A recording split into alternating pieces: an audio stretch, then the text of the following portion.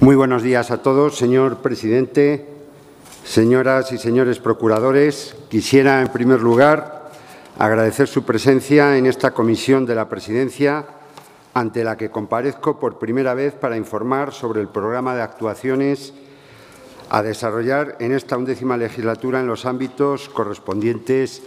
a la Consejería de la Presidencia. Un programa de actuación que, como no puede ser de otra manera, nace de las prioridades marcadas por nuestro presidente Alfonso Fernández Mañoco en su discurso de investidura el pasado 11 de abril. Un programa que despliega los 11 ejes de Gobierno y las 32 acciones fruto del pacto de Gobierno alcanzado entre el Partido Popular y el Partido Vox y que desde la Consejería de la Presidencia desarrollaremos dentro del ámbito de actuación propio de la misma. Señorías, quiero que mis primeras palabras sean de recuerdo para todas las personas y familias que han padecido o están padeciendo el COVID. Y también quiero dar las gracias al personal sanitario por su actitud y trabajo asistiéndonos a diario de manera heroica en la lucha contra el virus. Y, cómo no, recordar a todas las víctimas y familiares que están sufriendo el escarnio en sus vidas y en sus bienes por la detestable invasión rusa en Ucrania. Algo inimaginable ya en este punto de la historia que nos corresponde vivir en este siglo XXI. Y dada la situación económica derivada de todo ello, el Consejo de Gobierno ha aprobado el pasado 21 de abril y en su primera reunión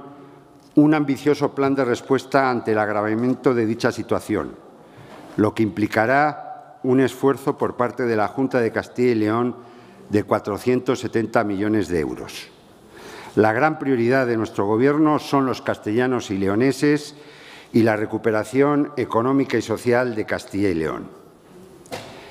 El empeño del presidente por lograr la estabilidad en Castilla y León es claro y evidente. Una estabilidad basada en el mejor de los instrumentos que tenemos los seres humanos.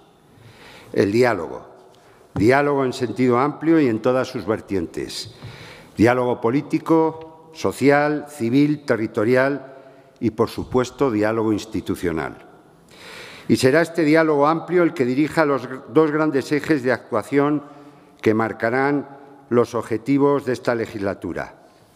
La modernización de todos los sectores económicos y sociales de Castilla y León y la cohesión social y territorial basada en la igualdad de todos los ciudadanos castellanos y leoneses, el equilibrio y la integración. Señorías, cuenten con mi compromiso personal en la búsqueda de este diálogo que beneficia a nuestra tierra y a todos los castellanos y leoneses. Siempre me encontrarán ahí. Nuestro quehacer, si me permiten resumirlo ya, busca simplificar la vida de las personas, hacerla sencilla. Es un compromiso personal que comparten todos los miembros que forman parte del equipo directivo de la Consejería de la Presidencia, a los que también agradezco el que hoy me acompañen en esta primera comparecencia ante esta comisión. Viceconsejeros, secretario general, directores y directores generales. Un agradecimiento que hago extensivo a todos los empleados públicos que prestan sus servicios,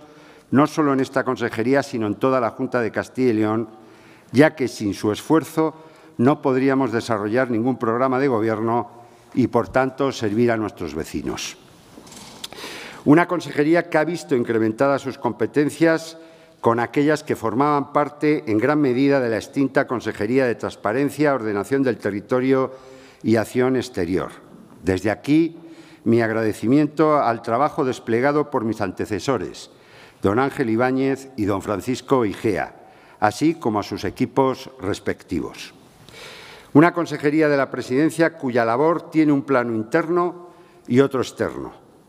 Externo simplificando la vida de nuestros vecinos, como he dicho antes, colaborando con municipios y provincias a través de sus ayuntamientos, diputaciones o mancomunidades, mejorando la atención que reciben, acercando la Administración a los ciudadanos y fomentando la alianza con los castellanos y leoneses que viven fuera de nuestra tierra, cooperando en el desarrollo de, quien peor lo está pasando en cualquier parte del mundo y coordinando las actuaciones oportunas mediante las relaciones institucionales con el Gobierno de España, las comunidades autónomas y otras administraciones, con especial atención al mantenimiento del adecuado cauce de relación con las Cortes de Castilla y León. E interno en la defensa y reconocimiento de nuestros empleados públicos, defendiendo la calidad de los servicios públicos prestados, evaluando las políticas públicas y avanzando en transparencia y gobierno abierto, modernizando, en definitiva, nuestra Administración. Señorías, es esta doble influencia, este doble plano interno y externo, el que marcará las siete prioridades de actuación de esta consejería. La primera, nuestra razón de ser, las entidades locales de Castilla y León. La segunda, el diálogo territorial e institucional. La tercera, abiertos al exterior. La cuarta, la concordia entre todos los castellanos y leoneses. La quinta de las prioridades, con el empleado público. La sexta, la evaluación, participación y transparencia de la Administración. Y la séptima, atendiendo al ciudadano. El eje central, medular de nuestro actuar en la Consejería de la Presidencia es la persona, el vecino de nuestros pueblos y para ello y entre otros crearemos un fondo de cohesión de 20 millones de euros anuales destinado a los municipios del medio rural y aprobaremos el Plan Expansión, Rural del 012. Los ciudadanos de cualquier provincia, mediante la aprobación del Plan de Transformación de las Delegaciones Territoriales, incidiendo especialmente en la mejora de la calidad de los servicios. El diálogo entre los ciudadanos y la Administración de la Comunidad de Castilla y León mediante una regulación específica de la participación ciudadana y haciendo de nuestra Administración una Administración más transparente. Los empleados públicos de nuestra Administración, con el establecimiento de una planificación estratégica que incida en la modernización de estructuras y en la retención y captación del talento y la aprobación de la nueva Ley de Función Pública y del nuevo convenio colectivo. Los ciudadanos de las zonas limítrofes con, otras comunidades autónomas, firmando y renovando los correspondientes convenios que permitan la mejora de las condiciones de vida de los mismos. Los castellanos y leoneses que viven fuera de nuestra tierra facilitándoles su regreso o reforzando nuestras casas regionales en el exterior. Los que peor lo pasan en algunas partes del mundo y para ello incrementaremos nuestras actuaciones de cooperación para el desarrollo. Como ven, y les digo, la persona siempre, siempre las personas. Significarles ya que, y entre otras cuestiones, pondremos en marcha, como les he dicho, un plan de transformación de las delegaciones territoriales. Se trata de un plan ambicioso que, como verán, se irá desgranando a lo largo de esta comparecencia, ya que no se agota en establecer una nueva estructura. Lo que de verdad buscamos es fomentar la cohesión territorial, que los castellanos y leoneses nos sientan cerca y que sus necesidades sean atendidas de una forma ágil y eficaz. Castilla y León es una comunidad extensa donde las necesidades de los ciudadanos de una provincia no necesariamente coinciden con las necesidades de otra provincia. Desde la Consejería de la Presidencia debemos buscar una coordinación óptima de la acción de Gobierno con nuestros representantes en las nueve provincias, que son quienes mejor conocen con precisión qué necesitan sus paisanos por su proximidad con ellos. Convocaremos de manera regular y con carácter rotatorio en todas las provincias a la Comisión General de Coordinación Territorial para buscar una mayor eficacia en las políticas de la Junta de Castilla y León, donde se coordinará la gestión periférica de nuestras competencias. Analicemos ya el programa de Gobierno de esta consejería para esta undécima legislatura. Como les decía, la primera de las prioridades es nuestra razón de ser, las entidades locales de Castilla y León. Una de las señas de identidad del presidente Alfonso Fernández Mañueco ha sido, es y seguirá siendo su vocación municipalista con la que me siento plenamente identificado y convencido. Sabemos de las necesidades del mundo local, sus preocupaciones, sus inquietudes y retos, y conocemos la encomiable labor de tantos alcaldes y alcaldesas, concejales, diputados provinciales, a lo largo y ancho de esta extensa comunidad y de su vocación de servicio a sus vecinos. Desde aquí, nuestro reconocimiento y agradecimiento.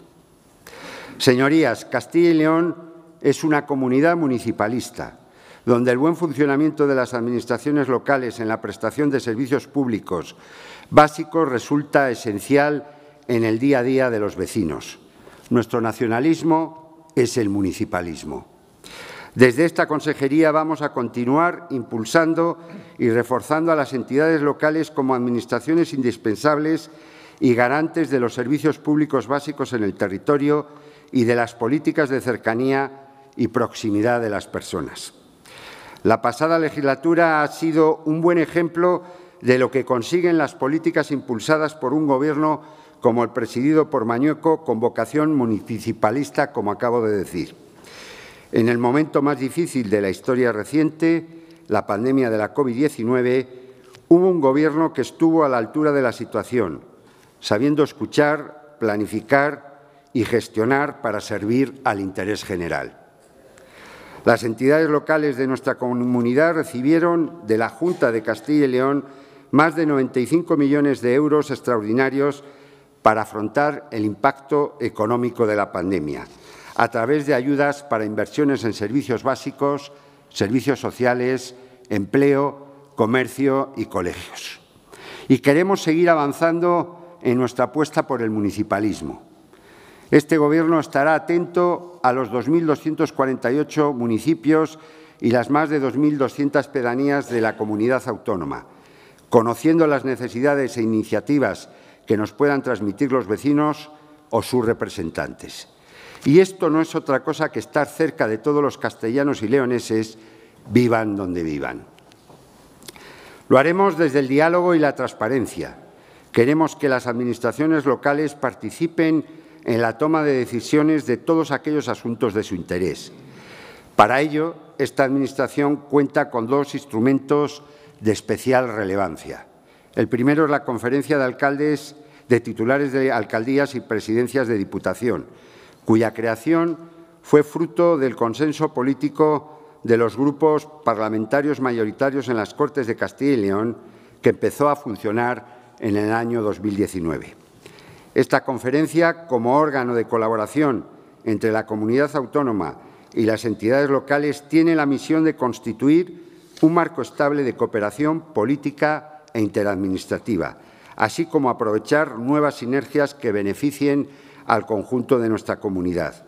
Sin duda, esta conferencia es el órgano de encuentro para poder conocer directamente de los responsables locales las inquietudes de las corporaciones locales.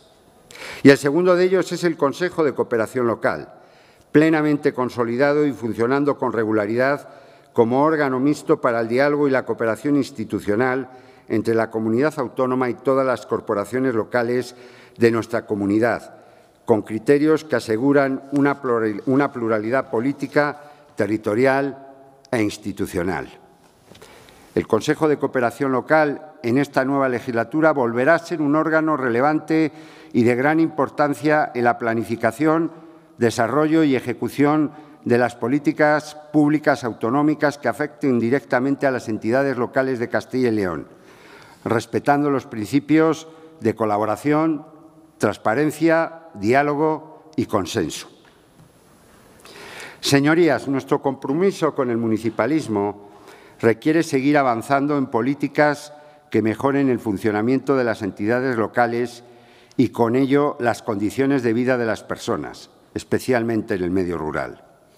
Queremos avanzar en la cohesión del territorio, en la igualdad de oportunidades de las personas que habitan en nuestros pueblos y en la garantía real y efectiva de la prestación de los servicios públicos que dependen de las distintas administraciones públicas, con independencia de la provincia o municipio de la comunidad donde se presten. Por ello, de forma inmediata, pondremos en marcha un nuevo fondo de cohesión territorial,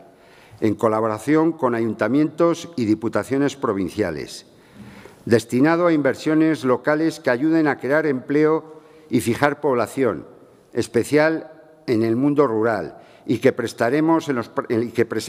perdón, en las próximas semanas a los órganos de participación local. Este nuevo instrumento de cooperación económica estará destinado a los municipios del medio rural. Tendrá un carácter estable y una dotación anual de 20 millones de euros.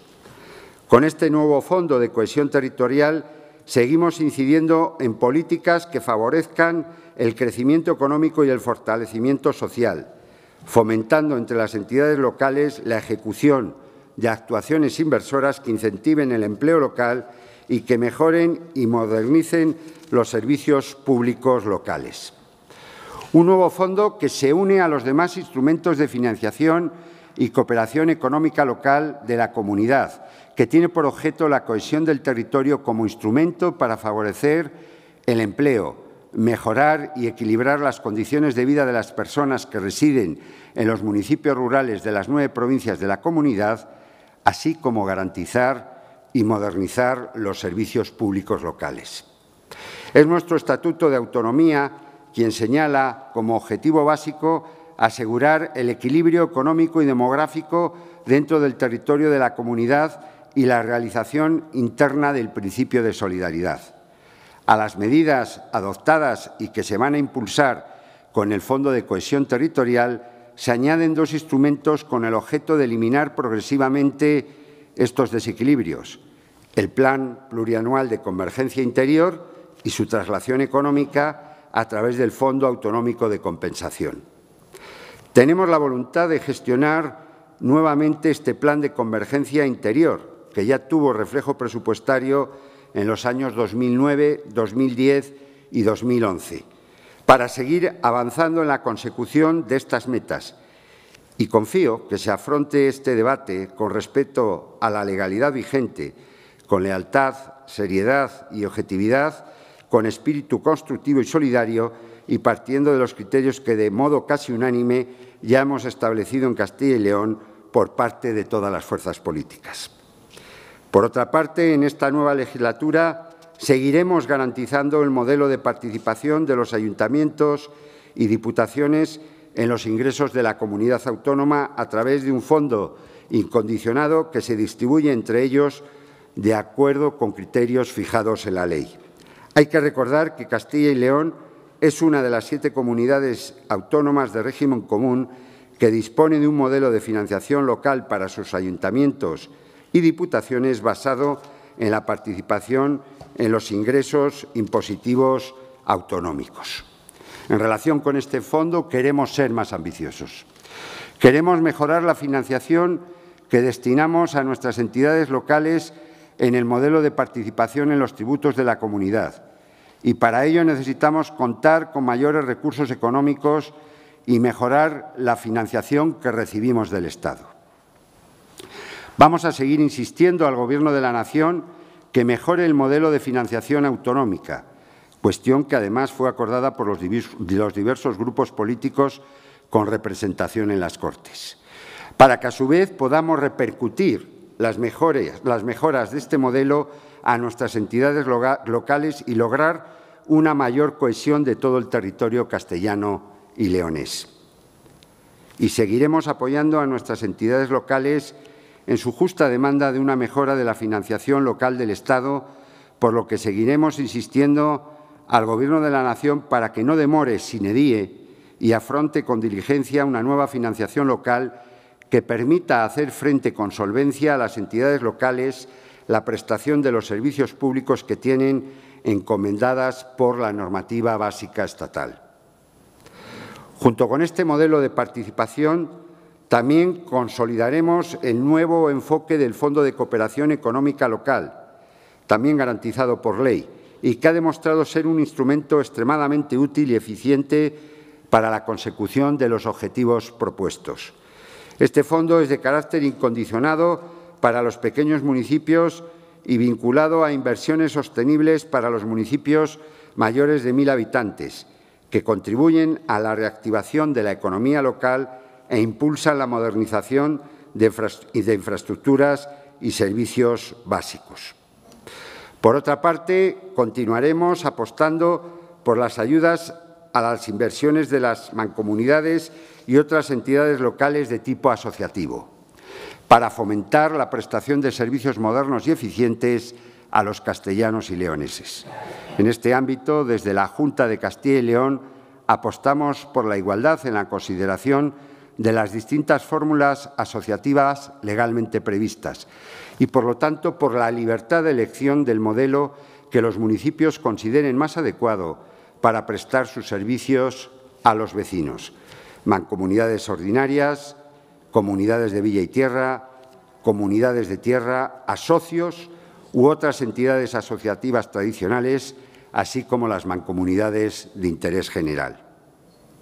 Junto a estos fondos continuarán ejecutándose las tradicionales líneas del Fondo de Cooperación Local de la Consejería de la Presidencia para apoyar a aquellos servicios públicos que resultan imprescindibles en nuestra comunidad, que se prestan desde las diputaciones provinciales, como son los de las oficinas de asistencia y asesoramiento a municipios o el ejercicio de políticas sociales en la provincia. En el ámbito de la cooperación económica no podemos olvidarnos de la colaboración con la comarca del Bierzo. A finales de octubre de 2020 se firmó por el presidente de la Junta de Castilla y León un nuevo convenio de colaboración con el Consejo Comarcal del Bierzo, que, entre otros aspectos, actualiza las condiciones de las subvenciones que se conceden anualmente a la comarca del Bierzo. Este convenio garantiza el compromiso de la Administración autonómica con la comarca del Bierzo y va a permitir a esta entidad local desarrollar de forma estable las políticas que le son propias y prestar los servicios públicos que le corresponden de acuerdo con la ley de creación y las previsiones acordadas en el citado convenio. Es voluntad de este Gobierno continuar esta política de diálogo y fortalecer las relaciones de colaboración con la comarca del Bierzo que permita avanzar en la mejora de las condiciones de vida de los bercianos. Del mismo modo, desde el punto de vista de la cooperación institucional con las administraciones locales, continuaremos con la colaboración estable con la Federación Regional de Municipios y Provincias. Por último, en este ámbito de la cooperación económica, durante esta próxima legislatura abordaremos de una forma efectiva la adecuada coordinación con el resto de las consejerías en la gestión de los fondos que cada una de ellas destina a las entidades locales en el Plan de Cooperación Local, articulando como medida principal un nuevo registro de subvenciones de la Administración de la Comunidad dirigida a las entidades locales. Con ello nos dotaremos de un instrumento eficaz que permita estudiar, analizar, planificar, programar y coordinar las distintas políticas de fomento destinadas a las entidades locales y rentabilizar y optimizar al máximo todos los fondos autonómicos destinados a transferencias, ayudas y subvenciones para las entidades locales. Por otra parte, tenemos que incidir en esta legislatura en la organización y funcionamiento de las entidades locales. Queremos impulsar medidas más allá de las de contenido esencialmente económico que garanticen y mejoren los servicios públicos de las administraciones locales, especialmente en los pequeños municipios. Ello implica necesariamente coordinar nuestras actuaciones con las nueve diputaciones provinciales, instituciones necesarias y con gran valor para los pequeños municipios y que, conocedoras de las necesidades de la provincia, son un interlocutor privilegiado en el mundo rural. Para ello, a la vista de las modificaciones que realice el Estado en la legislación básica del régimen local, elaboraremos un proyecto de ley que modifique la Ley de Régimen Local de Castilla y León, que modernice el régimen jurídico y de funcionamiento de nuestras corporaciones locales. Quiero destacar en este ámbito, por la relevancia e incidencia directa que tiene en la prestación de los servicios públicos locales y, por lo tanto, en la vida de nuestros municipios, las necesidades de cobertura de funcionarios de Administración local con habilitación de carácter nacional, que prestan funciones esenciales en nuestros municipios y agrupaciones de municipios. Un problema del que ya se ha venido dando cuenta al Gobierno de España por las responsabilidades y competencias que tiene en relación con este colectivo de funcionarios, solicitándole que asuma las responsabilidades que le corresponden y que adopte las medidas necesarias para evitar el colapso de en las administraciones locales. Desde la Junta de Castilla y León se ha solicitado en numerosas ocasiones el incremento de las ofertas de empleo público de este colectivo de funcionarios, especialmente de los puestos de secretaría e intervención, para hacer frente a la cantidad de plazas vacantes que hay en la actualidad y las que se van a ir produciendo en los próximos años como consecuencia de la jubilación de gran parte de los actuales funcionarios. Mientras, el Gobierno autonómico no puede cruzarse de brazos y acometeremos las actuaciones que estén en nuestras manos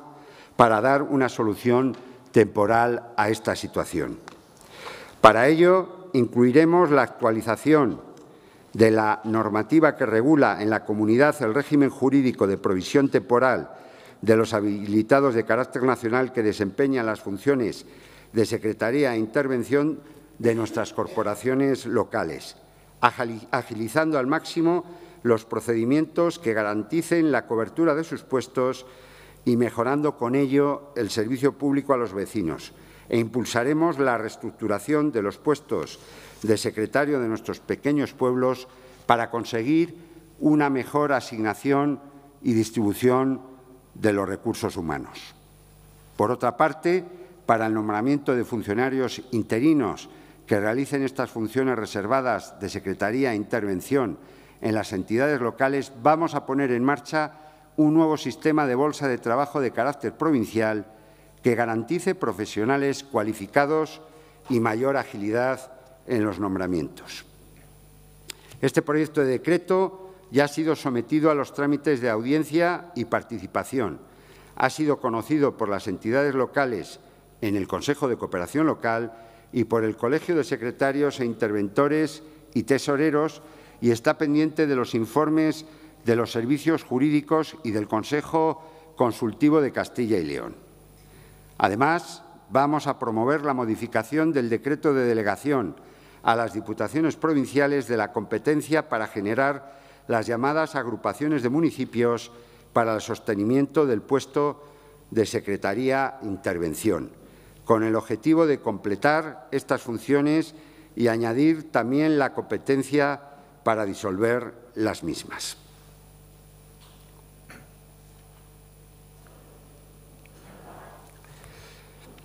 La segunda de las prioridades, como les decía al principio de esta intervención, es el diálogo territorial e institucional. La voluntad del presidente de la Junta de Castilla y León se manifestó claramente en el discurso de investidura, señalando como objetivo de esta legislatura el avanzar en el diálogo territorial con nuestras entidades locales y con otras comunidades autónomas, buscando mejorar el bienestar de las personas con servicios de mayor calidad. Por ello, una de las prioridades de la Consejería de la Presidencia es seguir dialogando y llegando a acuerdos con todas las administraciones territoriales. Así, con las entidades locales tendremos como principal interlocutor a la Federación Regional de Municipios y Provincia, con quien convendremos toda la política que desde la Consejería pongamos en marcha en beneficio de nuestros municipios y sus habitantes, haciendo especial hincapié en aquellos que por su localización geográfica más dificultades puedan tener para acceder a unos servicios públicos de calidad. Con la Administración del Estado seremos leales y a la vez exigentes en defensa de los intereses de los ciudadanos de Castilla y León. Abriremos un diálogo continuo con la delegación del Gobierno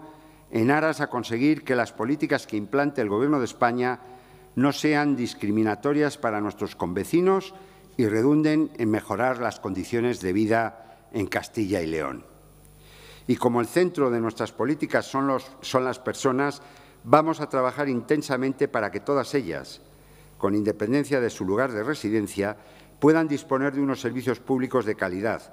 de forma que puedan desarrollar su proyecto de vida en cualquiera de nuestros municipios. En este sentido, manifestamos nuestra voluntad de seguir suscribiendo acuerdos o actualizando los vigentes con las comunidades autónomas limítrofes, tanto para que los ciudadanos tengan acceso a todos los servicios públicos al margen de su ubicación en el territorio, sanidad, educación, servicios sociales y empleo, como para poner en valor el patrimonio histórico, cultural, patrimonial o medioambiental que atesora nuestra comunidad o sus potencialidades para el desarrollo industrial y económico, como también para atender situaciones de emergencia en áreas limítrofes. La pasada legislatura, marcada por la triste pandemia, solo nos permitió suscribir el convenio de colaboración con Cantabria y dejar preparado para su suscripción el correspondiente al País Vasco. Es nuestra intención acelerar la firma de este convenio y avanzar a corto plazo los correspondientes a Galicia y Madrid, por ser los más antiguos, sin perjuicio de ofrecer a todas las comunidades autónomas limítrofes la actualización y mejora de las previsiones vigentes en los protocolos de colaboración que tenemos suscritos. Dentro de nuestro territorio seguiremos buscando la máxima colaboración con las Cortes de Castilla y León y con los distintos grupos parlamentarios. Las relaciones institucionales entre la Junta de Castilla y León y estas Cortes deben ser fluidas en ambas direcciones. Por un lado, para facilitar la, función parlamentaria de control de esta institución y, por otro, buscando el acuerdo para poder desarrollar la acción de Gobierno de la Junta de Castilla y León con el mayor consenso posible. La tercera de las prioridades es la relativa a abrirnos al exterior. Y aquí hablamos de tres grandes ámbitos. El primero, las relaciones con la Unión Europea y con Portugal, que son un elemento esencial para Castilla y León no solo en el marco del nuevo periodo de programación europeo 2021-2027, sino en todo el contexto europeo actual y de futuro. Castilla y León tiene que estar en primera línea para avanzar en el camino marcado por la Unión Europea hacia la recuperación tras la pandemia, teniendo también en cuenta los todavía efectos del Brexit y, cómo no, la irrupción de la invasión de Ucrania y sus indiscutibles efectos económicos y sociales sobre toda Europa y, por tanto, sobre Castilla y León también. Sepan que nuestra apuesta es por una presencia real y efectiva en Bruselas, gracias en parte a la delegación permanente con el propósito confeso de defender los intereses de nuestra comunidad autónoma. Vamos a aprovechar cualquier oportunidad de progreso para nuestra comunidad en todos los foros posibles, sea el Parlamento, en los procesos de elaboración de normas, sea el Comité Europeo de las Regiones, en definitiva, ante cualquier institución y organismo en los que tengamos la posibilidad de hacerlo. La Consejería de la Presidencia será el referente autonómico en materia de información de los asuntos europeos y no solo para la propia Administración, sino también para los castellanos y leoneses a través del portal web EUCIL, pero también mediante acciones presenciales. Durante el periodo 22-25, Castilla y León participará en 61 comités de muy diversa índole y entre el periodo 22-26 coordinará la representación de, de las comunidades autónomas en las formaciones del Consejo de Ministros de la Unión Europea de consumo, educación, cultura, deporte, agricultura y juego. Por otro lado, impulsaremos la cooperación con Portugal, y es que la sociedad rayana se ha visto afectada singularmente por las sucesivas crisis que nos han acuciado y nos acucian. Es, por tanto, necesario contribuir a una reactivación y dinamización de esos territorios transfronterizos, intensificando la frecuencia y fluidez de las relaciones de cooperación con nuestros vecinos de las regiones centro y norte. Es también importante que escuchemos, y así lo haremos, a todos los implicados en la cooperación transfronteriza, entidades locales, entidades sin ánimo de lucro, agentes económicos y sociales, empresas, al mundo universitario, para explorar posibilidades de actuación conjunta y coordinada en materias de interés común. Asimismo, la vía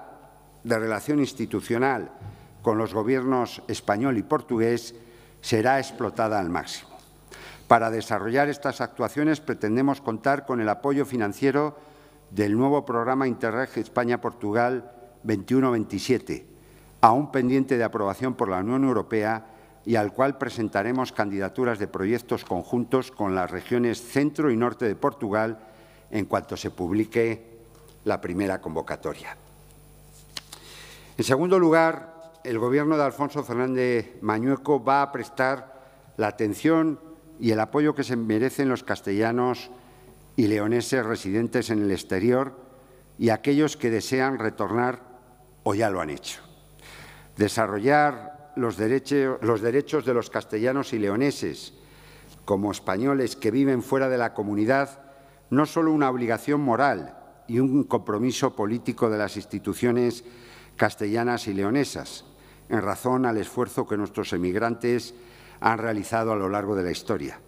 sino que son también derechos reconocidos por nuestro Estatuto de Autonomía.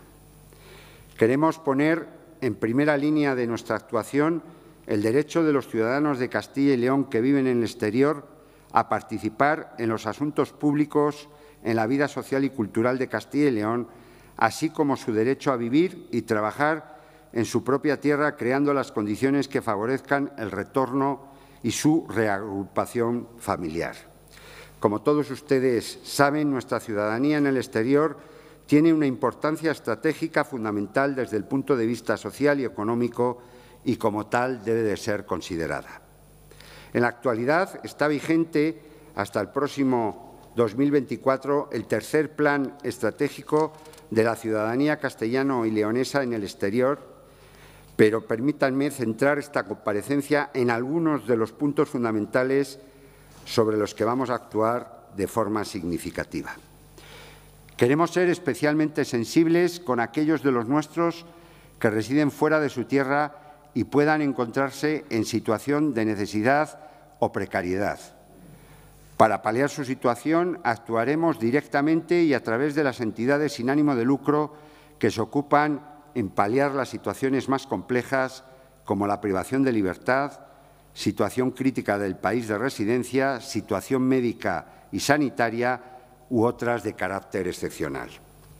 Los castellanos y leoneses en el exterior se encuentran, se identifican entre ellos y hacen vida en común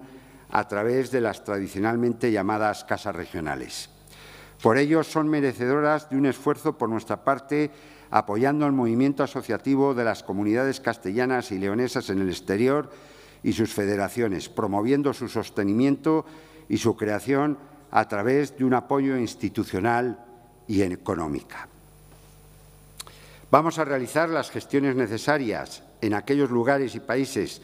donde los nuestros no estén organizados para favorecer allí el movimiento asociativo y prestar la debida atención, especialmente a jóvenes, estudiantes, trabajadores y mayores. Al mismo tiempo, reforzaremos nuestra presencia directamente con un programa de visitas a las casas en el exterior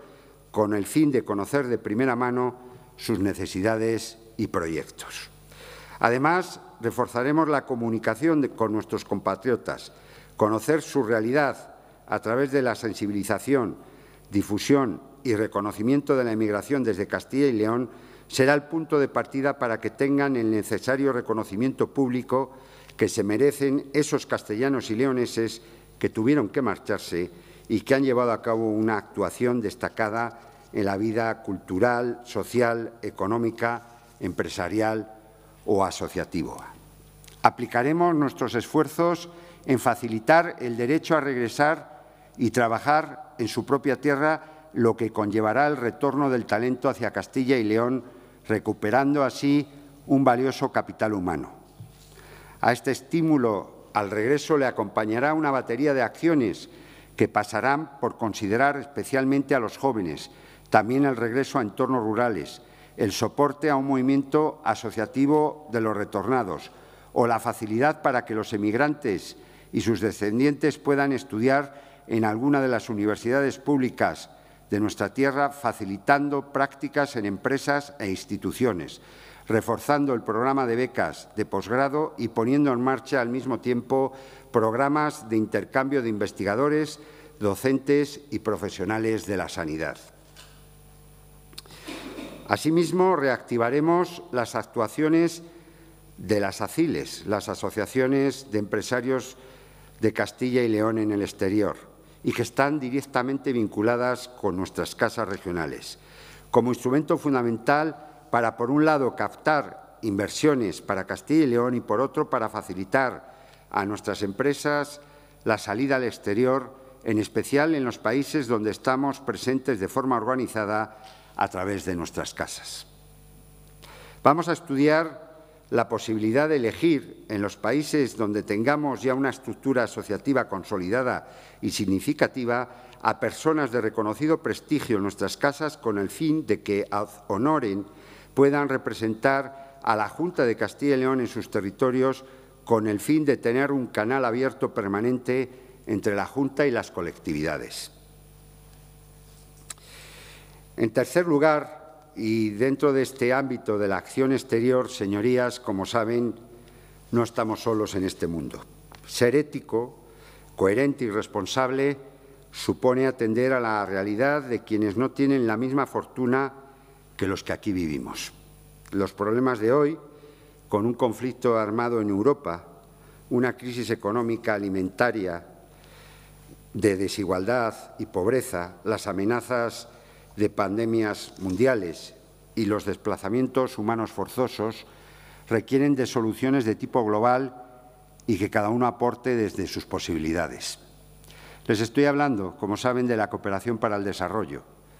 La, la, pobreza es falta de recursos económicos y falta de oportunidades para el ejercicio de los derechos sociales, culturales y políticos. Nuestra política de cooperación ha de permitir favorecer la igualdad de oportunidades y la participación activa de los ciudadanos a nivel mundial, promoviendo los derechos humanos en países empobrecidos y el desarrollo económico, social y medioambiental a nivel global. Señorías, la cooperación para el desarrollo en Castilla y León va a crecer y adaptarse a las circunstancias mundiales. Y para ello adaptaremos perdón, las normas aprobando el cuarto Plan Director 2022-2025 y avanzaremos en el cumplimiento de los compromisos presupuestarios con un crecimiento de los fondos computados como ayuda oficial al desarrollo. Fortalecer el tercer sector de las ONGDs de la comunidad será un objetivo irrenunciable y para ello, además, plantearemos una nueva regulación del registro de agentes de cooperación para el desarrollo de Castilla y León. Además, las actuaciones de cooperación que se lleven a cabo lo serán de forma alineada con la cooperación española, la cooperación descentralizada, la agenda internacional y el enfoque basado en derechos humanos, y tendrá las siguientes líneas de trabajo. En primer lugar, ayudas directas dirigidas a la acción humanitaria ante situaciones de crisis derivadas de la acción natural o del hombre como la materializada directamente hace escasas semanas en ayuda a Ucrania en colaboración con la Agencia Española de Cooperación Internacional de Desarrollo. En segundo lugar, líneas de subvenciones para proyectos de desarrollo que promuevan el derecho a la alimentación, el agua potable y el saneamiento, a la educación, a la salud y a la vivienda en los países empobrecidos prioritarios para la cooperación de Castilla y León. Y, en tercer lugar, la promoción de la educación en desarrollo, de una imagen de ciudadanía global sin perder de vista nuestra identidad autonómica a través de cinco dimensiones de trabajo información, sensibilización, formación, investigación y participación social. Queremos una juventud en Castilla y León que tenga capacidad crítica, que esté formada y que tenga el conocimiento necesario para formarse un juicio de valor ante el contexto global y, si lo desean, se comprometan y sean solidarios. Reactivaremos las actuaciones de cooperación a través de nuestras casas en el exterior,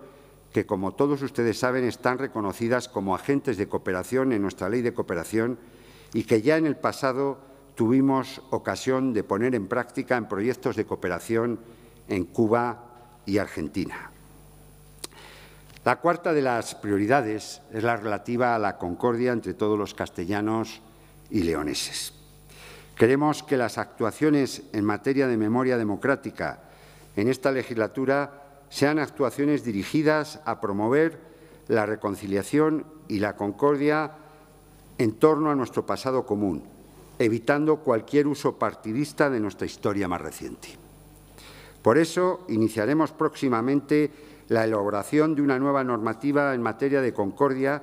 que, inspirada en los principios anteriormente mencionados, integre toda la regulación en la materia y haga de nuestra historia un elemento integrador, no de división. En este sentido, a la vez que promoveremos una gestión encaminada a cerrar heridas y no a reabrirlas, ampliaremos el foco hacia lo que se conoce como memoria democrática, orientada a fomentar los valores de reconciliación democrática que inspiraron la transición y la Constitución de 1978. En esta tarea continuaremos reforzando la colaboración institucional con el Estado en el marco del Plan Cuatrienal que reportará a nuestra comunidad un millón de euros durante el periodo 22-24 y con las entidades locales. Con las instituciones europeas promoviendo en el marco de las ayudas de la Unión proyectos en materia de localización y exhumación, pero también en materia de dignificación de las víctimas.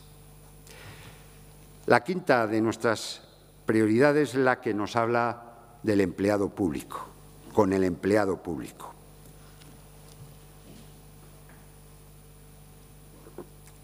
En un escenario tan complejo como el que estamos viviendo, las administraciones y el empleo público cobran, si cabe, mayor valor, mostrándose como elementos imprescindibles para dar respuesta a las necesidades de los ciudadanos y abordar los retos que tenemos como sociedad de forma ágil, eficiente, transparente, poniendo al ciudadano en el centro de la gestión pública. Las personas son el recurso más valioso de cualquier organización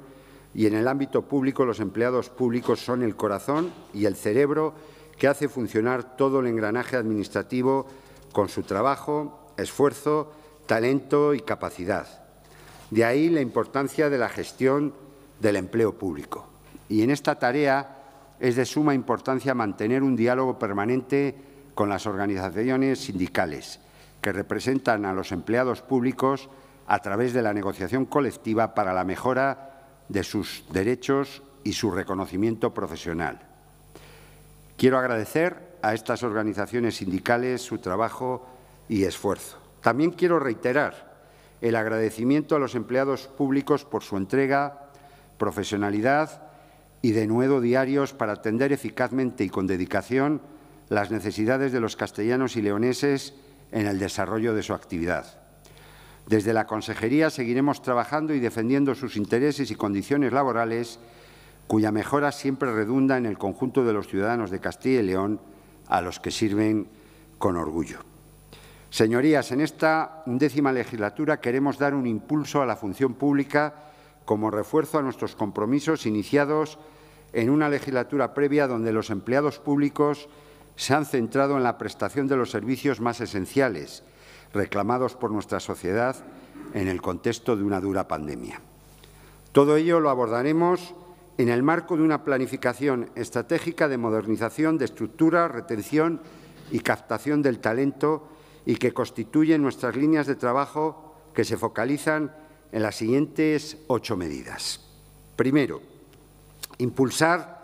la aprobación de nuevas y actualizadas normas debe de constituir una actuación básica en materia de empleo público. Por una parte, la actualización de la Ley de Función Pública, que se va a enriquecer con una ley específica que regule los cuerpos y escalas que se corresponden con los actuales perfiles de puestos de trabajo en el contexto educativo actual. Y, como no podía ser de otra manera, un actualizado convenio colectivo. Retomaremos la tramitación de estas normas de manera inminente mediante la correspondiente negociación colectiva de las mismas, aprobando asimismo normas consensuadas en, diálogo social. Segundo,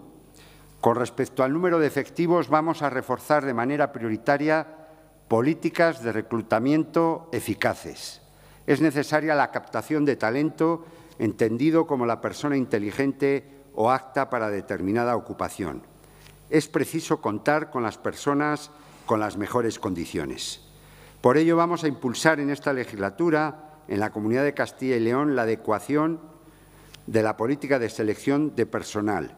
nuestra política de captación de talento, lo que se va a traducir en una actualización de los procesos de selección, contenidos y procedimiento.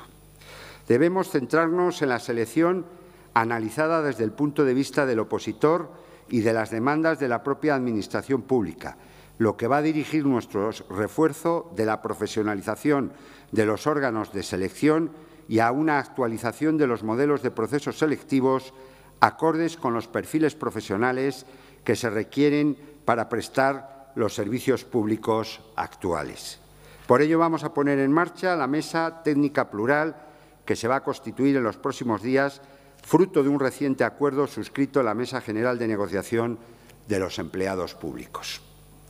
En este ámbito, fomentar las relaciones con las universidades públicas de Castilla y León es de vital importancia para generar un intercambio de conocimiento y el impulso a la participación del alumnado en el día a día de la Administración. Nos va a enriquecer a ambos y dará a conocer el modelo de prestación de servicio a nuestros jóvenes con el fin de convertirnos en una de sus posibles opciones personales, todo ello sustentado en el marco de los convenios colectivos ya suscritos, perdón, de los convenios que, suscritos que ya se vienen implementando. Tercero, otra de nuestras prioridades, y como refuerzo al objetivo anterior, es que vamos a mantener la convocatoria de los procesos selectivos consolidando un empleo de calidad y conjugando la reducción de la temporalidad mediante la cobertura de puestos de trabajo de carácter estructural. Ello bajo el prisma del cumplimiento objetivo del principio de legalidad de la norma estatal y nuestras normas autonómicas, y en el marco de la convocatoria de los procesos selectivos correspondientes a las ofertas de empleo público de los años 2019 y 2020 en el primer semestre de este año 2022 así como la aprobación de la oferta de empleo público extraordinaria de estabilización antes de 1 de junio de este año y la convocatoria de todos los procesos correspondientes a ella antes de finalizar este año 2022.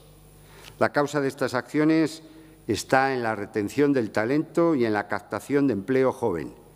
la consecución de un empleo público estable con la reducción de la temporalidad, de la temporalidad hasta el 8% comprometido con la Unión Europea. Cuarto, otro de los aspectos esenciales de esta planificación estratégica va a ser la relativa a potenciar la formación permanente y la reorganización interna de las estructuras. Por lo que un objetivo crucial de nuestro proyecto reside en la formación para el desempeño del puesto de trabajo actualizando permanentemente los conocimientos, el, intercambio de conocimiento entre los empleados públicos y la formación a demanda. La mejora de las acciones formativas mediante el desarrollo de nuevos planes de formación, tanto general, sectorial y local, el desarrollo del programa de formación en competencias digitales y programas de formación para personal directivo y predirectivo constituyen algunas de nuestras medidas más destacadas, implicando la potenciación del factor humano para la mejora de la prestación de los servicios. En este punto quiero destacar que vamos a crear el portal de gestión del conocimiento de la CLAC y que pondremos en marcha en este año 2022, que supone un impulso para facilitar el acceso a los empleados públicos a una gran cantidad de contenidos formativos, informativos y divulgativos que se han generado y se siguen generando en el desarrollo de su actividad, permitiendo un aprendizaje continuo autónomo. Por otro lado, la innovación, entendida como la aplicación de nuevos métodos, políticas, productos y servicios con el objetivo de responder de manera eficaz a los cambios en las necesidades de la sociedad y a las expectativas de los ciudadanos sobre la prestación de los servicios públicos,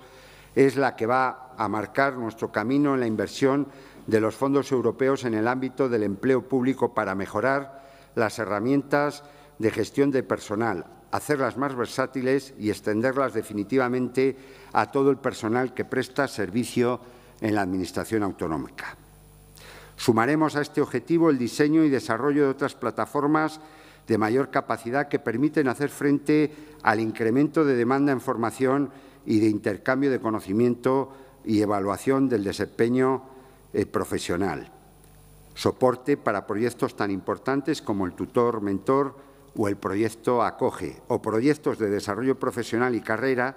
que son objetivos en este área que inciden en la modernización de la Administración y redundan en una mejora en la prestación de los servicios públicos. En el proyecto de modernización del empleo público no podíamos dejar al margen a la Administración local. La coordinación entre ambas Administraciones es garante de éxito en la prestación de los servicios públicos. Con este motivo, nuestro objetivo se traduce en un refuerzo en el desarrollo de actividades formativas de y para empleados públicos de ayuntamientos y diputaciones, con programas formativos que impliquen el perfeccionamiento del personal y, a su vez, el intercambio de conocimiento interadministrativo. Más allá de la formación, la colaboración con la Administración local debe estrecharse con la inminente puesta en funcionamiento de la Comisión Regional de la Función Pública creada por Decreto 33 21 de 2 de diciembre con el fin de colaborar con la Administración local en la puesta en común de ideas que den lugar a soluciones a las distintas necesidades que en materia de función público pública presentan ambas administraciones, la autonómica y la local. La innovación en la ordenación de las estructuras debe ser asimismo el objetivo a lograr cara al ciudadano. El diseño de los puestos de trabajo, sus funciones y tareas y su encaje en el ámbito competencial mediante las relaciones de puestos de trabajo es garantía de unos servicios públicos de calidad, de un empleo público cercano al ciudadano y a sus demandas, y que va a ser una de las primeras medidas que estamos abordando ya. En este punto debo detenerme destacando la importancia que para el futuro de la prestación de los servicios públicos debe tener la renovación y la dotación de nuestras estructuras periféricas. Los servicios que se prestan al ciudadano desde las delegaciones territoriales y los servicios territoriales constituyen la base para el impulso de nuestro desarrollo socioeconómico. Por ello, debe tener una traducción en estructuras de personal en su organización interna, perfiles de puestos adecuados a las competencias que desde ellos se prestan, con un dimensionamiento real y un reconocimiento actualizado acorde con la carga de responsabilidad sobre la gestión. Dentro de, este, de esta planificación estratégica y, en quinto lugar, el personal ha de ser gestionado de forma ordenada, coherente y sistematizada. Para ello seguiremos invirtiendo en el aplicativo informático para la gestión integrada del personal de la Administración autonómica, siendo nuestro objetivo final el poder integrar a la totalidad del personal que en ella presta sus servicios y para ello avanzamos en nuevas funcionalidades que puedan ser necesarias para cubrir dicho objetivo. Por ello, actualizaremos y enriqueceremos en los próximos años la herramienta básica que sirve de base para la gestión de personal, así como para los estudios orientados a mejorar la toma de decisiones sobre empleo público.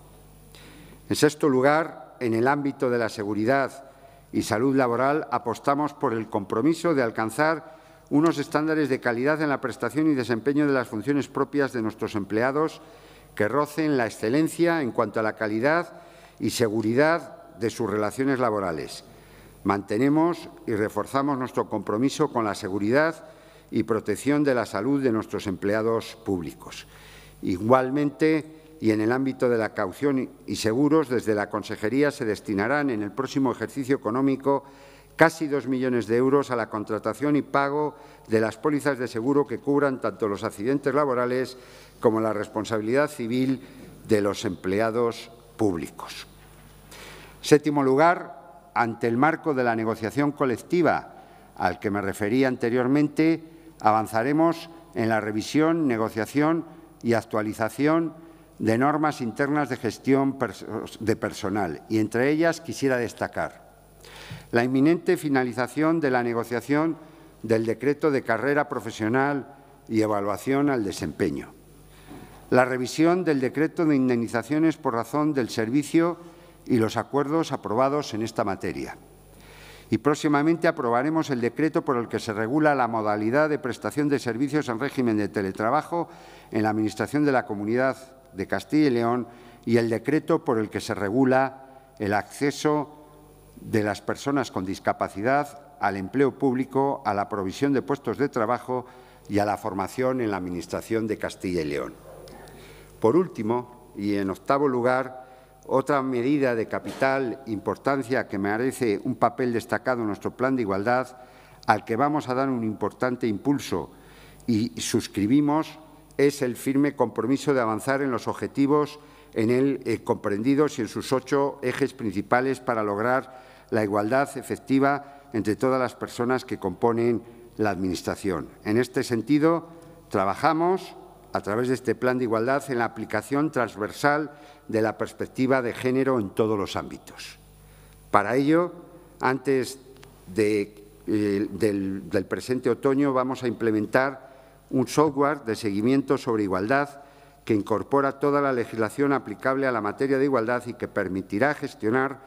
todo el plan de extremo a extremo, completar y actualizar los informes de diagnóstico y de medidas a cometer, hacer un seguimiento de la consecución de las medidas e interactuar con todos los trabajadores para certificar que se cumple y se entiende el plan. Además, trabajamos en ese marco para aplicar de manera inminente el protocolo para evitar acoso sexual o por razón de género.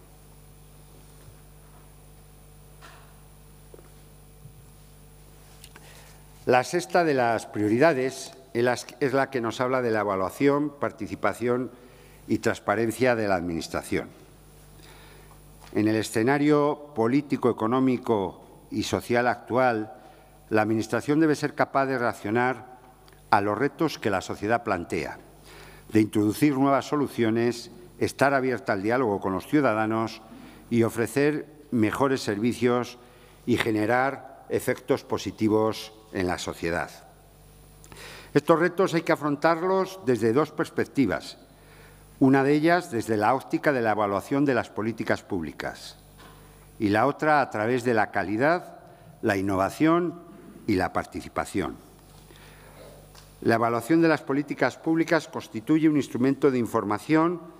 que genera valor añadido a la actividad de la Administración en relación con el ciudadano.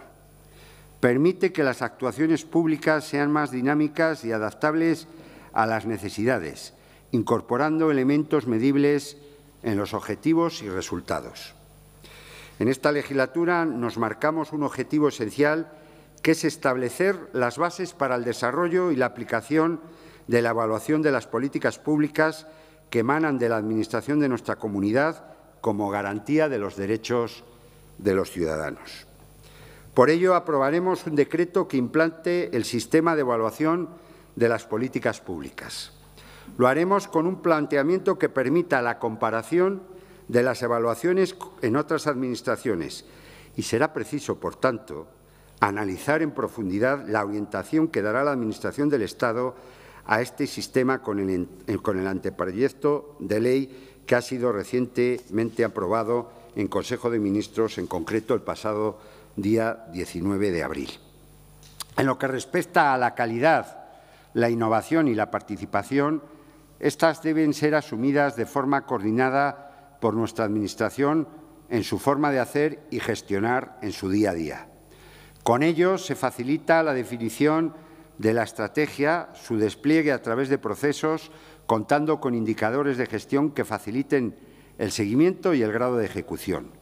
Se identifica a los grupos de interés y se favorece su participación para conocer sus demandas y expectativas e incorporando, en todo caso, la innovación. La gestión de la calidad es una herramienta útil para implantar una cultura orientada a la mejora continua y permite homogeneizar la gestión en la Administración, mejorar la eficiencia, así como la eficacia en la actuación y la medición de resultados. Profundizando en la calidad se permitirá obtener datos objetivos y fiables que serán la base para la definición de las nuevas políticas y de motivación para los empleados. Para consolidar este marco dirigido a la mejora de la calidad y la innovación de los servicios públicos en la Administración de la Comunidad de Castilla y León, establecido en el Decreto 4 2021, abordaremos planes de actuaciones en materia de calidad e innovación de los servicios públicos. Planes cuyos objetivos son prestar a la ciudadanía un mejor servicio y una mejor calidad de vida, implantar una cultura de calidad, innovación y participación de la sociedad en nuestra Administración que permitirá poner en valor sus actuaciones. Con dichos planes afrontaremos evaluaciones de la calidad de los servicios para identificar áreas de mejora, fomentar la transparencia, identificar el grado de calidad de los servicios prestados y proporcionar información para planificar y dirigir la acción administrativa. Elaboraremos y actualizaremos cartas de servicios que establecen los compromisos de calidad asumidos en la prestación de los servicios públicos y facilitan a la ciudadanía el ejercicio de sus derechos y su participación en la mejora de la calidad de los servicios. Paralelamente, realizaremos análisis de la demanda y evaluaciones del grado de satisfacción de la ciudadanía con los servicios públicos prestados que permitirán la detección de las necesidades, expectativas y la medición de la percepción que tiene la ciudadanía sobre la organización y los servicios que presta la Administración de la Comunidad de Castilla y León.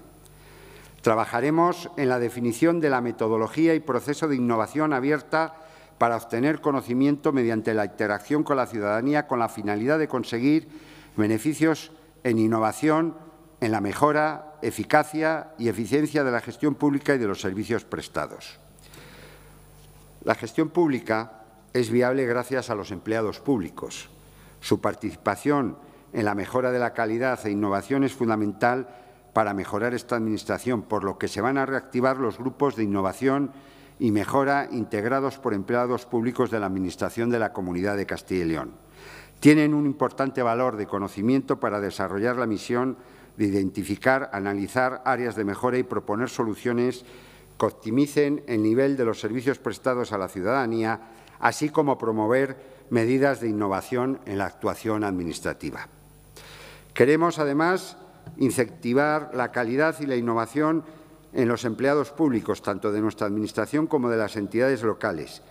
Y no hay mejor manera que hacerlo mediante un reconocimiento expreso. Para ello pondremos en marcha los premios a la calidad y a la innovación de la Administración. Señorías, la participación ciudadana se ha convertido en un referente fundamental para los organismos internacionales, los cuales cada vez más promueven la participación como una vía para la implicación de los ciudadanos en los asuntos públicos, facilitar una toma de decisiones que se, se, aproxime más a las necesidades de la población y que contribuirá a que el gasto público se realice con unos mayores niveles de eficiencia y eficacia, aprendiendo de sus ideas y aportaciones.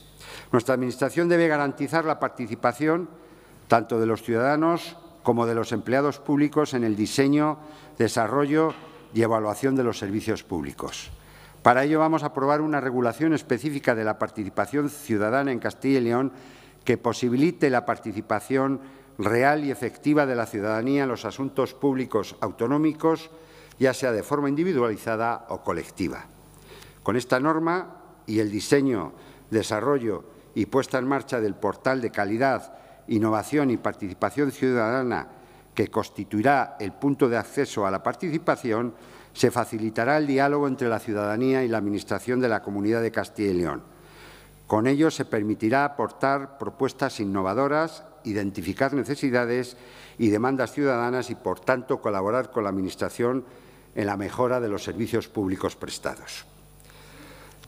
Pero también en la mejora de la calidad y la innovación tenemos que poner la mirada en nuestra Administración territorial, que al fin y al cabo es la Administración de cercanía de la Junta de Castilla y León.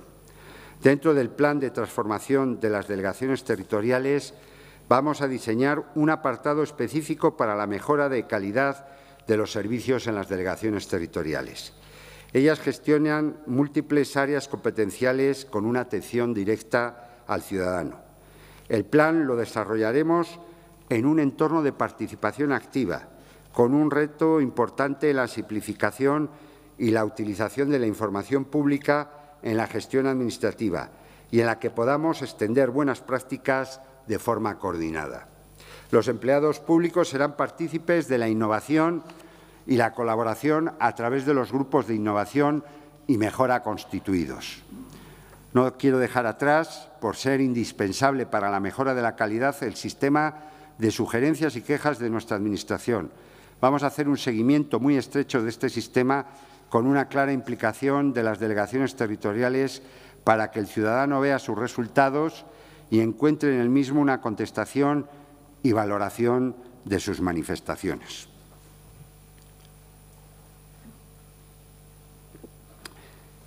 Pero para que el ciudadano sienta que forma parte de la Administración, debe ver que la actuación desarrollada por ella, por ella no solo es ágil y de calidad, sino que también es transparente. Para ello utilizaremos el soporte de la publicidad institucional y las redes sociales, la intervención en foros de debate, la participación en redes y todo tipo de actividad divulgativa que acerque el derecho a la información a todos aquellos que quieran y necesiten saber. Con el fin de agilizar estas solicitudes de acceso a la información pública, vamos a empezar a trabajar con las consejerías para poner en explotación el aplicativo STER, herramienta que nos permitirá coordinar y supervisar este procedimiento y obtener datos estadísticos objetivos y fiables relacionados con el ejercicio de este derecho con el que poder acreditar ante los ciudadanos y ante estas Cortes el grado de cumplimiento en el acceso a la información. Prestaremos especial atención a la puerta de entrada que para los ciudadanos representan las delegaciones territoriales. Por un lado, trabajaremos en la divulgación de este derecho ayudando a identificar las solicitudes de acceso a información pública, mejorando con ello la gestión de estas de forma rápida y eficaz. Para ello estamos trabajando en una infografía que pronto estará disponible y que trata de recoger las vías más habituales a las que reconducir al ciudadano cuando busque acceder a una información pública. Nuestro objetivo es que ningún ciudadano quede sin respuesta ser proactivos ante demandas de información que, sin ser solicitudes de acceso a información pública, puedan ser atendidas en algún otro canal. Y junto a ello avanzaremos en la formación y sensibilización con, con la ENCLAP para que los empleados públicos tengan presente que el derecho a la información es vital para el fortalecimiento de nuestra democracia y de nuestras instituciones. Queremos seguir siendo un referente en materia de transparencia para todas las administraciones de nuestro territorio, con la finalidad de conseguir que todos los castellanos y leoneses disfruten de similares niveles de transparencia de las administraciones que se relacionan con ellos, colaborando con todas ellas tanto a nivel tecnológico como en materia de formación y asesoramiento. Acercaremos el derecho de, acceso a información pública a todos los ciudadanos mediante la realización de jornadas divulgativas en todas las delegaciones territoriales. Igualmente, ofreceremos nuestra colaboración a la Federación Regional de Municipios y Provincias y a las Diputaciones Provinciales para trabajar en la consecución y el impulso de mayores cotas de transparencia en la Administración de Castilla y León, en la Administración local de Castilla y León, perdón. Actualmente está en fase de pruebas el portal de transparencia para entidades locales. Esta herramienta se pondrá a disposición de todas las entidades locales de Castilla y León en los próximos meses y permitirá que, que puedan dar debido cumplimiento a sus obligaciones de transparencia. Ello supone un avance más en la colaboración con las entidades locales en el objetivo de que entre todos construyamos una Castilla y León más transparente. De igual forma, mejoraremos el portal de transparencia adaptando la estructura para que la localización de contenidos sea lo más clara y sencilla posible. El impulso de los datos abiertos con tareas continuas de actualización de la información y mantenimiento de reuniones y contactos con los diferentes centros directivos de la Administración autonómica darán como resultado la incorporación de nuevos datos que se complementarán con la realización de visualizaciones que mejoren su comprensión y de datos abiertos, en bruto, que permitan la reutilización de la información. La transparencia y los datos abiertos se configuran de esta forma como dos caras de la misma moneda, satisfaciendo las necesidades tanto del conjunto de la población, con contenidos claros, como de público especializado, investigadores, medios de comunicación, desarrolladores, que quieran realizar nuevos trabajos, productos y servicios a partir de los datos. Queremos abordar próximamente la identificación de datos, registros e información propia de nuestra Administración que facilite tanto la transmisión de datos entre las unidades internas como la posibilidad de ofrecer dicha información a otras administraciones como son nuestras propias entidades locales. En esta legislatura queremos, desplegar nuestra acción en dos direcciones. La primera, identificar en los ficheros cuya titularidad corresponda a la Junta de Castilla y León los datos que tengan que ser utilizados por otras unidades administrativas para la gestión de sus expedientes. Y la segunda línea de acción, posibilitar que las entidades locales y otras administraciones públicas puedan acceder a estos datos en la tramitación de sus expedientes. Este volumen de datos de los ciudadanos que maneja la Administración es de diversa categoría, desde datos meramente identificativos a datos sensibles que tienen una mayor incidencia en la esfera de la intimidad de las personas, como puedan ser los datos de salud. Compete a esta consejería la coordinación del cumplimiento de la normativa aplicable en materia de protección de datos y forma parte del marco organizativo establecido en el decreto que aprueba la política de seguridad de la información y protección de datos. Si bien los responsables directos de la aplicación de la normativa de protección de datos son los distintos centros directivos y el papel de los delegados de protección de datos de cada consejería es esencial en el asesoramiento, apoyo y supervisión de esta tarea, el propósito de esta consejería en el ejercicio de su función de coordinación no es otro que trabajar para facilitar a los responsables del tratamiento y a los delegados de protección de datos su actuación y a los ciudadanos el ejercicio de sus derechos de protección de datos. Las actuaciones que consideramos que servirán a este propósito son, entre otros, el establecimiento de un punto único de la web institucional que recoja de manera sencilla y fácilmente accesible por los ciudadanos la información relevante en materia de protección de datos, así como promover soluciones comunes para toda la Administración sobre cuestiones que afectan a esta materia. Todas las actuaciones se realizarán, por supuesto, con el conocimiento, propuesta o recomendación del Grupo de Datos de Delegados de Protección de Datos, el Grupo de Trabajo, perdón, de Delegados de Protección de Datos, integrado por los verdaderos expertos en la materia a los que convocaremos en breve para darles a conocer estas y otras iniciativas y poner en marcha nuestra actuación. Una gestión eficiente y efectiva de los datos no solo requiere de tecnología, también de una correcta gobernanza del dato. Debemos unificar criterios de calidad, interoperabilidad o combinación de fuentes para multiplicar el valor añadido que pueda obtenerse de los datos. La gobernanza y gestión de los datos no es el fin, sino el medio para que las Administraciones evolucionen. Los datos son un activo, la materia prima sobre la que construir y mejorar los servicios públicos. La Consejería trabaja esta legislatura en la definición e implementación del proyecto de Gobierno del Dato, junto con un estudio previo de diagnóstico de la situación actual. Se trata de un reto que debe abordar nuestra Administración para aprovechar el potencial de los datos en la línea de las prioridades que la Comisión Europea, el Gobierno de España y otras comunidades autónomas están definiendo. El proyecto del Gobierno del Dato cuenta con una asignación aprobada de 2,5 millones de euros de los fondos Next Generation. Requerirá del impulso y liderazgo de nuestra consejería, junto con la imprescindible implicación de todos los centros directivos y empleados eh, públicos para implantar una cultura del dato en la organización. Este es un proyecto que va a requerir un gran esfuerzo por parte de nuestra organización y que necesita de la implicación de todos los niveles en los que se organiza la Administración autonómica. Por ello, en 2022 tenemos proyectadas dos actuaciones, una primera de carácter eminentemente técnico y otra destinada a generar una cultura del dato entre todos nuestros empleados públicos. Tras el arranque inicial, se llevará a cabo la ejecución del proyecto de diseño e implantación del modelo de gobierno del dato y diagnosticaremos y definiremos actuaciones para la mejora de la calidad y gestión del dato para posteriormente implantarlas sobre los mismos. Como cuestión nueva, que requerirá por parte de nuestra Consejería una gestión del cambio además de una monitorización y seguimiento constantes que nos permitan realizar una mejora continua. En materia de Gobierno abierto, participamos como invitados en el Grupo de Trabajo para la Reforma de la Ley de Transparencia Estatal. Esta reforma es la razón por la que ahora no consideramos oportuno abordar en este momento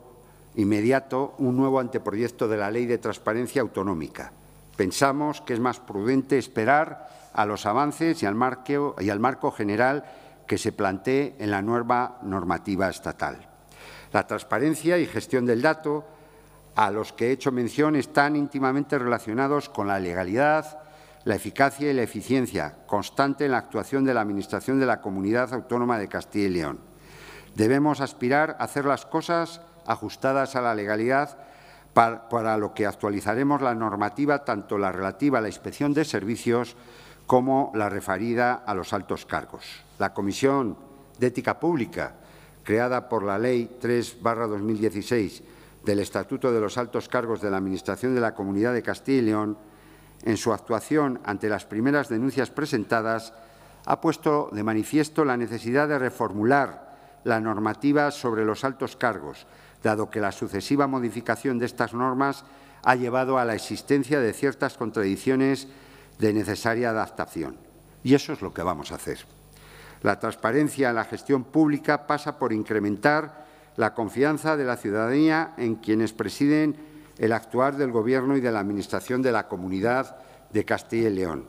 Debemos asentar una cultura de ética pública en la prestación de los servicios de tal modo que exista un control exhaustivo de posibles malas prácticas por parte de la Administración que pueda propiciar el incumplimiento de los principios de legalidad, objetividad, imparcialidad, eficacia y eficiencia, así como el control de posibles irregularidades administrativas. Por ello, la modificación del artículo 4 de la Ley 6-2003, reguladora de la asistencia jurídica a la Comunidad de Castilla y León, encomienda a los servicios jurídicos de la comunidad el asesoramiento jurídico preventivo al sector público de la Comunidad de Castilla y León y de forma eh, especial a sus empresas. El asesoramiento jurídico preventivo es el conjunto de actuaciones de contenido jurídico que se proyectan sobre el sector público de la Comunidad de Castilla y León que tienen como objetivo como objetivos la minimización de riesgos en la toma de decisiones, la anticipación y prevención de problemas jurídicos, la evitación o resolución de conflictos judiciales y la difusión de la cultura de la integridad eh, jurídica. En el, en el área del compliance penal se está ultimando la elaboración de un protocolo contra conductas delictivas para las empresas públicas de la Comunidad de Castilla y León, vinculante para ellas que evite que puedan incurrir en sí mismas como personas jurídicas en responsabilidad penal. Se trata, en definitiva, de una medida adicional y eficaz de lucha contra la corrupción y el fraude, evitando posibles actuaciones individuales y personales inadecuadas de sus directivos. El asesoramiento jurídico preventivo debe completarse con la mediación intrajudicial administrativa como medio de solución de litigios complementario a la Administración de Justicia. Por ello, es preciso afrontar las modificaciones normativas precisas para simplificar la obtención de la autorización de los propios órganos gestores competentes para permitir las transacciones judiciales, así como la obtención de la autorización de los letrados integrantes de los servicios jurídicos para intervenir procesalmente en las mismas. Estas nuevas figuras hacen necesario la aprobación del Reglamento de Desarrollo de la Ley 6-2003 que pormenorice las previsiones contenidas en la misma con el objeto de facilitar y armonizar el adecuado ejercicio de las funciones atribuidas a los servicios jurídicos. El texto ha comenzado su tramitación, pues ya se ha llevado a cabo el trámite de la consulta pública a través del portal de Gobierno Abierto de la Junta de Castilla y León y el de la participación ciudadana. Y es ahora, en la elaboración del texto articulado, cuando nos parece fundamental contar con la máxima participación y las aportaciones de los letrados de los servicios jurídicos principales destinatarios de esta norma. Unos letrados que podrán retomar la formación de forma presencial y conjunta con dos importantes colectivos,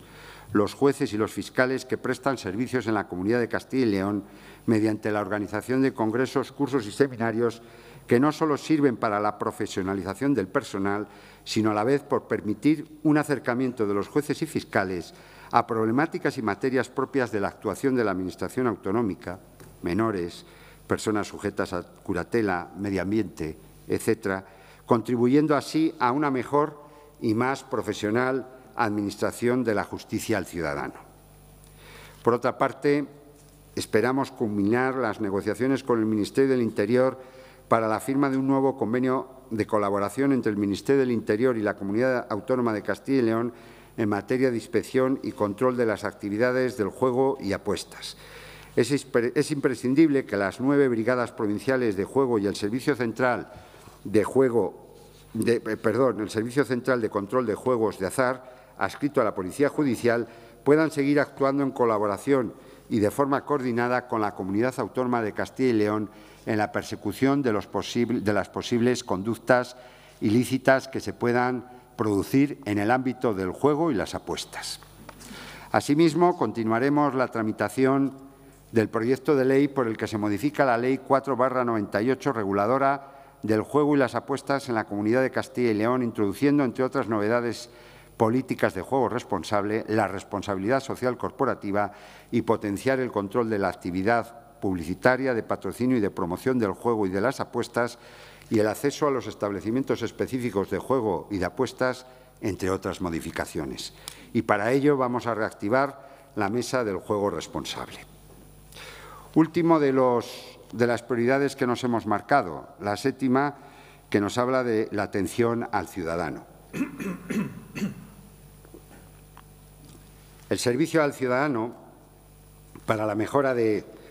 su calidad de vida y el desarrollo equilibrado y sostenible de esta comunidad son el fundamento de la gestión pública autonómica. Debemos asegurar que nuestra actividad administrativa se oriente a eh, facilitarle el ejercicio de sus derechos e intereses legítimos a través de unos servicios públicos atractivos, modernos, inclusivos e innovadores. La, evolución de la atención a la ciudadanía se dirige hacia una visión integral de ella que trata de ponerla en el centro de las decisiones que se toman en las administraciones públicas. Para ello se necesitan herramientas y canales de comunicación que mejoren los procesos y logren alcanzar las estrategias más adecuadas para conseguir los objetivos. La atención al ciudadano debe ser personalizada, proactiva, omnicanal y flexible, que permita anticiparse a las necesidades de información y atención demandadas. Para ello es preciso no solo facilitar toda la información disponible, sino acercar la Administración a la ciudadanía, facilitándole el acceso a la Administración electrónica con procedimientos sencillos y prestando todo el apoyo necesario en su uso. Tendremos una especial dedicación en la población de nuestras zonas rurales para facilitar la comunicación con la Administración. Es evidente que todo el esfuerzo que realicemos en este sentido es un factor clave de éxito en la tarea pública que los ciudadanos nos han encomendado. Con la nueva regulación de las oficinas de asistencia en materia de registros de la Administración de la Comunidad de Castilla y León se ha consolidado el derecho del ciudadano a relacionarse electrónicamente con la Administración sin merma alguna de la oportunidad de optar por una atención presencial, personal y personalizada a través de estas oficinas asentadas en nuestro territorio. Con ellas vamos a impulsar un cambio de enfoque en los servicios tradicionales hacia una operativa digital, logrando una atención más diversificada en sus prestaciones, incluyendo la asistencia electrónica en la solicitud, consulta y notificación y el apoderamiento a acta pero sobre todo una atención más fácil, más rápida y más segura. Esta red de oficinas, que cuenta con el registro único de la Administración de la Comunidad de Castilla y León, el SIRCIL, y acceso al sistema de interconexión de registros, se extiende a 232 unidades en nuestra comunidad, de las cuales 113 están ubicadas en el entorno rural. Este servicio permite digitalizar la documentación que presenta el ciudadano en papel y enviarla electrónicamente en cuestiones de segundos a su destino en cualquier administración a nivel nacional. Una red que ya trabaja, que trabaja ya con casi 13,5 millones de registros, de los cuales cerca de 8,3 millones han sido distribuidos electrónicamente a nuestras unidades tramitadoras autonómicas y más de 2,3 millones de asientos han resultado del intercambio electrónico con otras administraciones públicas de toda España. Y vamos a seguir mejorando la atención en ellas, impulsando procesos digitales como una sincronización automática con el Directorio Común para todas las Administraciones Públicas a nivel nacional y una adaptación a la nueva hoja de ruta Sistema de Interconexión de Registros, una vez aprobada la norma técnica por la Administración General del Estado. Con ello conseguiremos una simplificación de firma que agilizará la tramitación al ciudadano. Realizaremos también un esfuerzo comunicativo para mejorar el conocimiento de esta red de oficinas de asistencia en materia de registros a disposición del ciudadano. Para ello vamos a poner en marcha una herramienta, una app, localizador de oficinas de registro para su visibilidad tanto en dispositivos móviles como en entorno web. Será de descarga gratuita y tendrá por objetivo facilitar al ciudadano la ubicación de las oficinas de asistencia estatales, autonómicas y locales existentes en el territorio de la comunidad, desde donde pueden iniciar sus trámites administrativos con destino a otras administraciones con plena validez jurídica. Por otra parte, vamos a reforzar la atención en nuestras oficinas de asistencia a los ciudadanos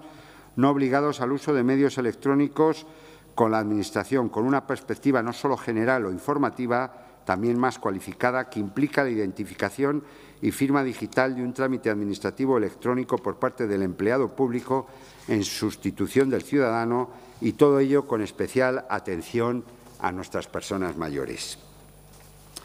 Pero, como he indicado, la atención al ciudadano en nuestra comunidad pasa necesariamente por reforzar la interrelación con la Administración local, la Administración de cercanía de todos los castellanos y leoneses. Si bien Castilla y León ya está a la cabeza a nivel nacional en cuanto a número de entidades locales integradas en el sistema de intercambio registral y somos la tercera comunidad por volumen de envíos, de envíos electrónicos desde los registros administrativos locales, vamos a seguir liderando este proyecto común para salvar los obstáculos territoriales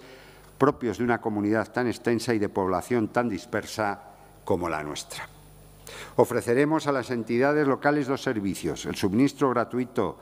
de aplicativos registrales, la oficina de registro virtual y la asistencia funcional en registros, favoreciendo la comunicación registral en el entorno rural,